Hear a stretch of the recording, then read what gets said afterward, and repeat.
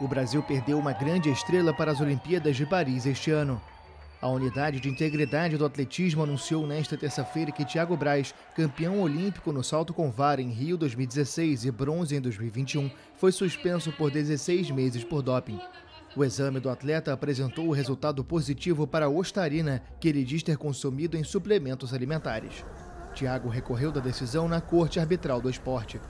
O brasileiro foi suspenso provisoriamente no dia 28 de junho de 2023, depois de um teste positivo quase um mês antes.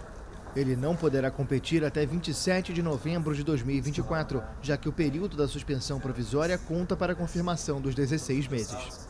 Isso significa que Thiago Braz não competirá mais este ano, mas poderá voltar para a temporada de 2025 e participar do Mundial de Tóquio. A unidade de integridade do atletismo explicou que a ostarina é um produto geralmente utilizado para aumentar a massa muscular. Nos últimos anos, Thiago Braz se tornou um dos principais nomes do salto com vara no mundo, especialmente pelo título olímpico nos Jogos do Rio. saltar uma altura que eu, que eu imaginava que seria um pouco difícil.